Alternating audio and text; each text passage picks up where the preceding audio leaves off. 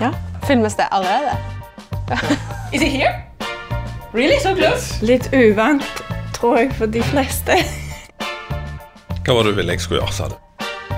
Helt fra bunnen. Helt opp, opp her. Skal jeg bare lene meg bakover, eller? Ut sånn?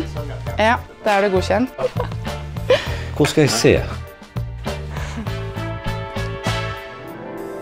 Det beste, det er jo litt vanskelig spørsmål, da, men Det beste med eh, å jobbe i Kong Philips, det er jo, det er jo folka. Muligheter. Trivsel. Takhøyden. At man kan være seg sjøl. Trygghet. godhet. Karrierebalanse er jo veldig viktig. For meg så er folka en veldig stor bit. Menneskene rundt. Vi er som en stor familie. What's best with the culture? Um, Og bare tenke litt. Still meg spørsmålet en gang til. mangfold, ja takk. Det var det norske ordet. Åpen dør-policy. Vi er opptatt av å levere, men alltid gjøre det på en god måte. Det er ikke noen forskjell om du er kokken eller direktøren. Det er jo veldig kjekt, da.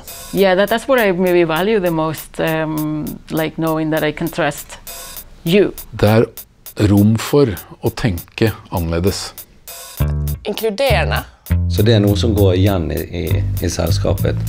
Et inkluderende arbeidsmiljø. Det beste minnet.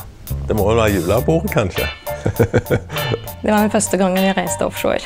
Fikk se det utrolige anlegget. Bli tatt så godt imot der ute og se hvordan alt funker. da. Overveldende.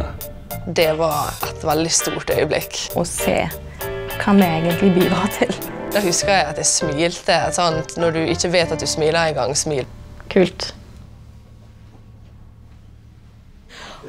Ja ja, det var jo ikke så gale.